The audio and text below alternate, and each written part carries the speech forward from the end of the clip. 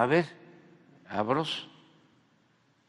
En este momento del país, en este momento, en este 2024, no se vale andar de culeritos, mis niños.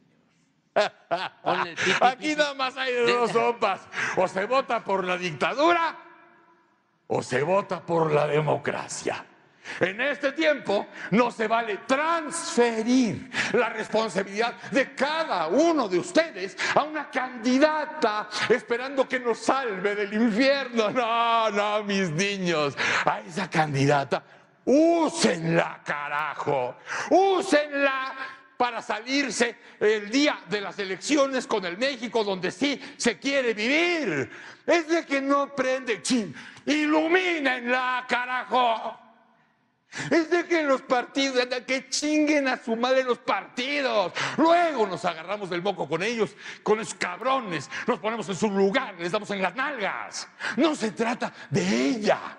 Se trata de cómo vamos a vivir los próximos 20 años. Sí, sí, sí, mis chamacos, la elección es el 2 de junio. Pero la victoria o la derrota comienza hoy.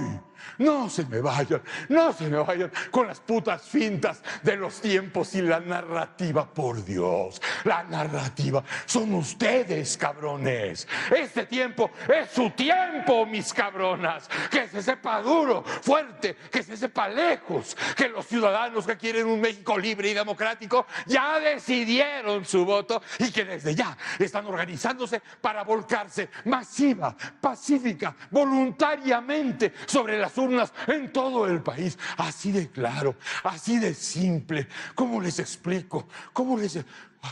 Para que me entiendan. Ya trepados en el guayabo, no me hables de jícamas, no mames, órale.